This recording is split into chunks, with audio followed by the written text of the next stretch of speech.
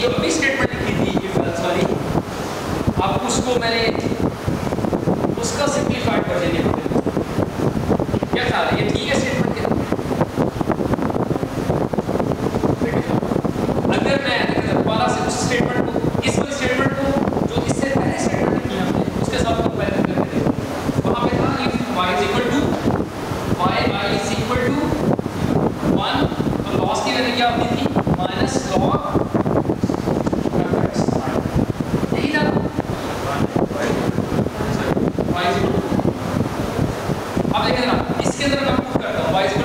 speak out.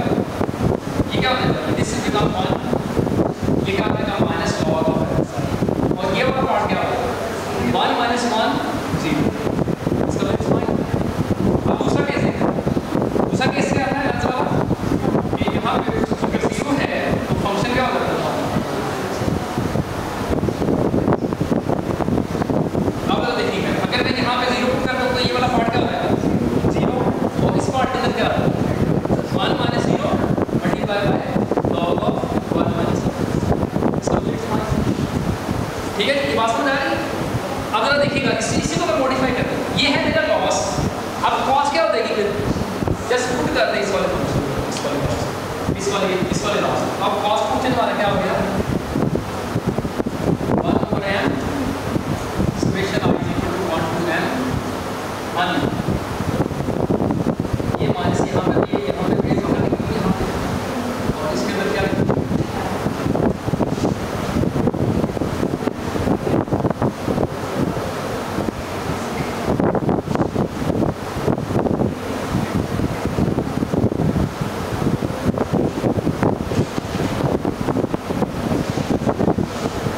ये है जनाब हमारा कॉस्ट फ़ंक्शन जिसको हम यूज़ करेंगे जिसको हम यूज़ करेंगे। लॉजिस्टिक रैशनल एल्गोरिथम के in order to find the cost ठीक है? अच्छा अब इसका नाम मैं बताने लगा हूँ। इसका नाम क्या है? इसका नाम है?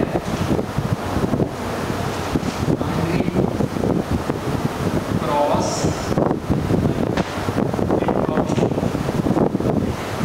ठीक है? या जिसे बी सी ई ने इसका बनाया गया चाहिए तो इस फ़ंक्शन का तो इसकी दो खसूसियात क्या ये कन्वेक्सली है। और दूसरा, ये प्लेंटी हमें एक बड़ा नंबर देता है। मिस क्लासिफिकेशन के केस के अंदर एक बड़ा नंबर ऐसा प्लेंटी अच्छा जी और तीसरी एक इंपॉर्टेंट बात जिसको मैं इंशाल्लाह अगली क्लास के अंदर बताऊँगा कि ये फ़ंक्शन है बेसिकली आप देखेंगे कि इसको हम डिराइव कर सकते हैं by using principle of maximum likelihood estimation ठीक है जो यूज़ किया जाता है किसी भी फ़ंक्शन को ऑप्टिमाइज करने के लिए कि आप उस फ़ंक्शन को ऑप्टिमाइज कर लें कर लें और उसको ऑप्टिमाइज करके आप पैरामीटर फाइंड कर सकते हैं।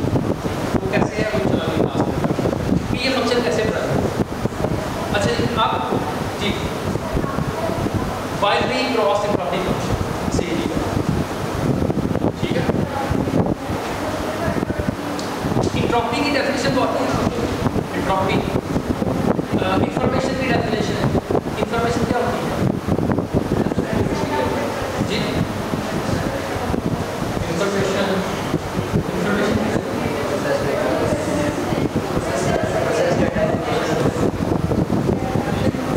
स्टैटिक प्रोटेक्शन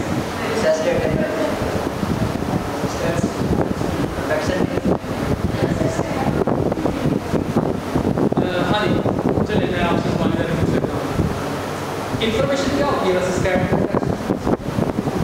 प्रॉपर्टी अगर एक प्रॉपर्टी की वैल्यू ना बहुत थो- थोड़ी हो थोड़ी हो, उसका लॉग क्या होता है एक छोटे नंबर का लॉग क्या होता है जी देखिए तो इसको जरा। मैं कहूँ, जुलाई के अंदर ना, जुलाई के अंदर बहुत गर्मी हो।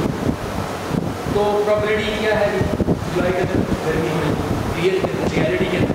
क्या प्रॉपर्टी प्रॉपर्टी वन ऐसे ना हाँ होगी अब तो देखिए मैं एक सेक्टर बोलता हूँ कि जुलाई के अंदर ना स्नोफॉल होगी। ठीक है? तो again this is unreal thing unreal thing अब इसकी प्रॉपर्टी क्या है? एक बहुत थोड़ा नंबर लेकिन इसका अगर आप लॉग लेंगे तो क्या आएगा? एक और बड़ा number log of probability is basically information ये अब आपके लिए इंफॉर्मेशन है कि जुलाई के अंदर अच्छा स्नोफॉल हो रही है। हाँ ये तो this is called basically this is called a information ठीक है अब ठीक है स्टैट के अंदर इसको क्या कहते हैं इंफॉर्मेशन कहते हैं अब average of information called a ठीक है? Average of information is called a ये बेसिकली ये just like this is this is basically this is देखिए, ये ये मैंने आपको बताया इंफॉर्मेशन इंफॉर्मेशन ये प्रोबेबिलिटी है ना ये प्रोबेबिलिटी उसके साथ अब ये क्या है अगेन आप इन सारी वैल्यू को ये इसका बड़े कोई ये बेसिकली आपने वेटेड एवरेज फाइंड ये वेट दिया है इस तरह की और ये सारी वैल्यू ऐड कर ये देखिए इसका mean find finding the mean of information is called entropy ये बेसिकली एंट्रोपी आपको फाइंड ठीक है तो यहाँ जो एंट्रोपी को लफ्ज तो बाइनरी बाइनरी क्लासिफिकेशन भी हम यूज़ कर रहे हैं क्रॉस एंट्रोपी मीन के साथ साथ आप ना इंफॉर्मेशन की इंफॉर्मेशन आप ऐड करें तो अगेन यानी वो जितना भी मैं आपको बता सकता था इस, इसके बारे में ना क्रॉस एंट्रोपी की वजह से मजीद में इंशाल्लाह डिटेल देखी जा सकती ठीक है? अच्छा जी अब ज़रा हम ये सारी कहानी जो मैंने आपको सुनाई है अब ज़रा हम इसको एक्चुअल अपने एल्गोरिथम की तरफ़ लेके चलते हैं। देखिए जी ग्रेडियंट डिसेंट के अंदर हमें क्या करना है? हमें क्या फाइंड करना है?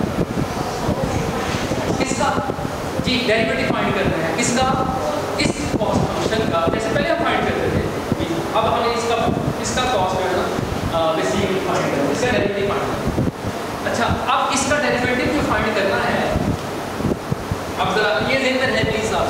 ये सारी टर्मिनोलॉजी मैंने ज़िक्र किया है इसका। कि लॉस हमारा ये है। इस लॉस को और कॉस्ट के रिलेशन को नहीं भूलना, ठीक है? अब जस्ट ना सिंपलीफाई करते हैं। जस्ट लॉस को लेते हैं। यानी कि जस्ट मैं पहले लॉस को लेकिन मैं इसका डेरिवेटिव फाइंड करना चाहूँ। इस वाली चीज़ को मैं पहले बता दूँ फिर आगे हाँ जी, इसको मैं ऐसे भी लिख सकता हूँ minus one over m summation i equal to one to n इस जगह में मैं लिख दूँ क्या इस पूरी जगह पे मैं लिख सकता हूँ लॉस ऑफ़ आई हाँ जी एग्री करेंगे आप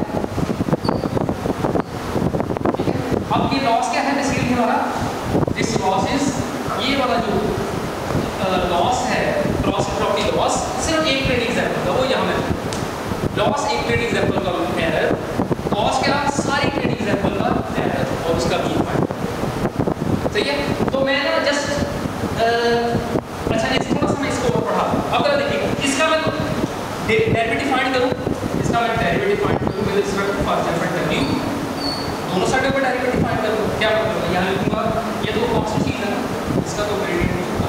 क्या होगा?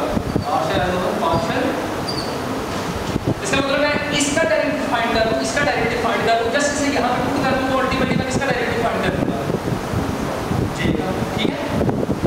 Derivative of G with respect to ठीक है, इस बात को ध्यान में प्लीज़ रखना हम सिंपलीफिकेशन के लिए जस्ट इसको वाले एक्सप्रेशन इसका डेरिवेटिव इसका जो भी डेरिवेटिव आएगा यहाँ पे पुट करेंगे तो अल्टीमेटली हमारे पास इसका डेरिवेटिव आ इस कॉस्ट का लॉस का डेरिवेटिव फाइंड करते हैं पुट करेंगे यहाँ पे हमारे पास कॉस्ट का ठीक है ये बात समझ आ रही अच्छा अब इसको मैं बता दूँ उससे जेन इसका डेरिवेटिव हम कंप्यूट करते हैं लेकिन इसका डेरिवेटिव कंप्यूट करने से पहले ये दो चीज़ें और क्योंकि ये आगे जाकर इस्तेमाल होती है बड़ी इंपॉर्टेंट चीज़ है हमें दो डेरिवेटिव फाइंड करना एक तो इस लॉस का डेरिवेटिव फाइंड करना है with respect to W thetas ठीक है? वेट्स दूसरा हमारा फ़ंक्शन रिसीव किया देखिए फ़ंक्शन हमारा क्या है वन ओवर वन प्लस इसको कैसे करके यहाँ लिखूं?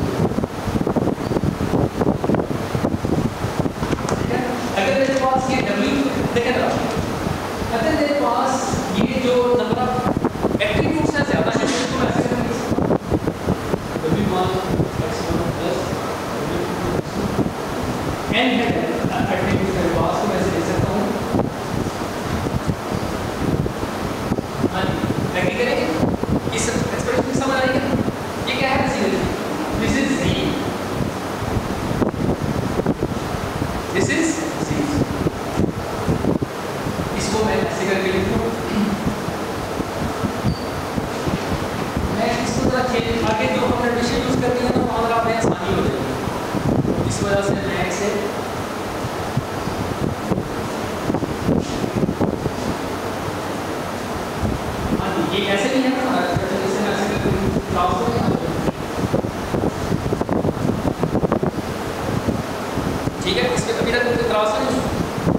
चले जाओ। इसको मैं मजीद सिंपलीफाई करके थोड़ी देर तक हूँ। पहले मैंने जस्ट इसका डेरिवेटिव क्या मतलब? मैं इसका derivative partial derivative of G of c with respect to c ये है मैं इसका डेरिवेटिव क्या with respect to this is derivative of g of हाँ क्या है चार्जेस इस इसका डेरिवेटिव ये सवाल हो ये हमारा sigmoid फ़ंक्शन है इसका derivative with respect to c compute करना चाहते हैं जी क्या है? क्या कर रहे हो तेज आवाज़ हाँ जी। नीचे वाले लेवल का स्केलिंग और नीचे वाले लेवल ऐसा जैसे ऊपर सेम और ऊपर वाली का डेरिवेटिव ऊपर वाली है वन इसका डेरिवेटिव क्या आएगा तो ये पहली टर्म ऊपर वाली माइनस ऊपर वाले लेवल सेम मल्टीप्लाई बाय नीचे वाली का डेरिवेटिव नीचे वाली का डेरिवेटिव इसका डेरिवेटिव क्या आएगा वन का वन का डेरिवेटिव क्या आएगा ज़ीरो और अगली का मतलब क्या डेरिवेटिव e की माइनस c का ऐसा जैसे ही और फिर माइनस c का डेरिवेटिव क्या माइनस वन ठीक है तो बता रही बात अच्छा अब जरा देखिएगा ये ऊपर ये माइनस और ये माइनस आपस में मल्टीप्लाई तो आंसर क्या आएगा e of minus c divided by 1 plus e minus c का यदि एग्री करते हैं। यहाँ तक कोई सवाल अब मैं एक ट्रिक लगाने लगा हूँ, ठीक है? ट्रिक क्या है? इसके अंदर मैं वन को ऐड कर देता हूँ और वन को ठीक है? और अब मैं एक और ट्रिक लगाने लगा हूँ। इसको by considering this as a term and considering this one is as a term मैं दोनों पर पढ़ेगा क्या मतलब? मैं लिखूँगा one minus one C divided by one plus square minus 1 over 1 plus ठीक है एग्री देखिए ये ये टर्म भी इस ए से खत्म हो ठीक है? आंसर क्या आएगा वन ओवर ठीक है? One over one plus e की माइनस और इसका क्या है? One over one plus e की माइनस इन दोनों में से मैं इस वाली टर्म को बाहर निकाल इसको मैं ऐसे करके लिख सकता हूँ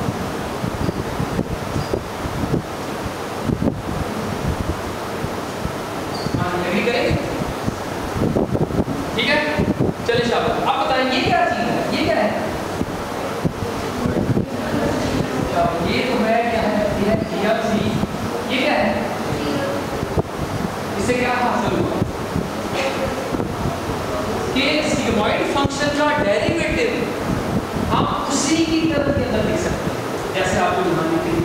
This is very very important यानी ये इस फ़ंक्शन की खूबसूरती है कि इसका जो डेरिवेटिव है ना, इसी की टर्म के अंदर आता जैसे हमने यहाँ पे कि derivative of sigmoid function is equal to sigmoid function 1 minus sigmoid function ठीक है? ये बड़ी शानदार इसकी प्रॉपर्टी है, जिसको हम कभी यूज़ भी करें हाँ जी, कोई सवाल इस हवाले से? ठीक है? क्लियर है? चलें अब आ जाइए अब इसका डायरेक्टर इस बात को संभाल के रखना, ये हमारे काम आए अब इसका डायरेक्टिव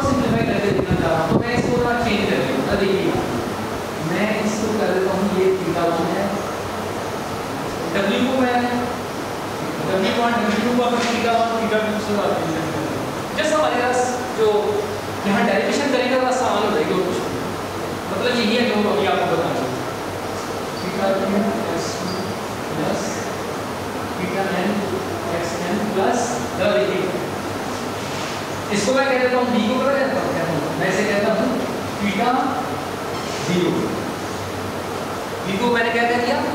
थीटा ज़ीरो और इसको मैं मल्टीप्लाई कर देता हूँ इसके साथ एक्स ज़ीरो के साथ। एक्स ज़ीरो क्या है? बेसिकली डमी एट्रीब्यूट है, जिसकी वैल्यू क्या है? एक्स ज़ीरो इक्वल टू ठीक है? एक्स इक्वल टू कुछ नहीं। आपको ऐसा नहीं लग रहा मैं बहुत तेज से बता रहा हूँ?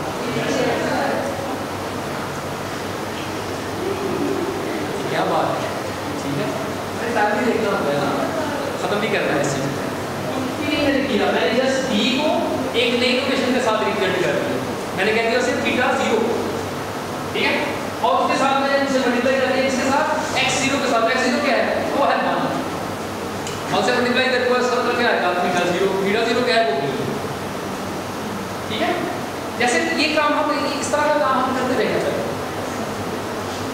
चलिए अब देखिए एरिया मेरा ये एक्स ऐसे ही है अब ये मेरा डब्ल्यू मैट्रिक्स की जगह मैंने इसको थीटा ले लिया और यहाँ डब्ल्यू नहीं है, यहाँ थीटा वन है तो थीटा ज़ीरो है थीटा वन है अप टू थीटा यानी बी भी यहाँ पे डाल दूँ इसी तरह से अब एक्स के में डमी वेरिएबल ऐड कर तो उसका नाम क्या है?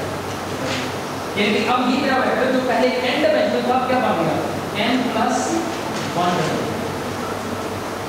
ठीक है? W मेरा n डायमेंशनल था क्या बन गया? N प्लस ठीक है? अच्छा ये अब देखिएगा, मैं इसको ऐसे करके लिख सकता हूँ। थीटा चलिए, मैं जल्दी कर इन टर्म को फिर रीअरेंज कर दें। इस को भाग के पहले लिखो। Theta zero x zero plus theta of x1 and up to theta n, x. ठीक है? अब मैं इसको ऐसे करके लिख लेता हूँ। ये चूँकि डॉट प्रोडक्ट है, दो वेक्टर का। ये मेरा वेक्टर है, दूसरा ये वेक्टर है। इन दोनों को मैंने क्या लिया है? डॉट प्रोडक्ट तो डॉट प्रोडक्ट को हम ऐसे करके लिख सकते हैं क्या? थीटा ट्रांसपोज x यानी इसके डायमेंशन देखिए ना n plus n plus 1 by 1 है इसकी डायमेंशन है n plus one by one तो इनकी मल्टीप्लिकेशन नहीं हो सकती ना। तो हम वो कैसे करेंगे? एक का ट्रांसफ़र करेंगे तो इसका मैंने ट्रांसफ़र कर लिया इसके साथ मल्टीप्लाई किया? सही है? तो ये क्या है मेरा? दिस इज़ एफ़ इसको दे में रखना है। क्लियर है बात? अब इस फॉर्मुलेशन के अंदर जहाँ जहाँ पे भी एफएक्स है उसके बाद मैं इसको पुट कर यदि मैं क्यों पुट करता हूँ अभी आपको समझ आ ठीक है ये सारा कुछ इन नोट्स में बड़ा अच्छा मैंने लिखा हुआ है।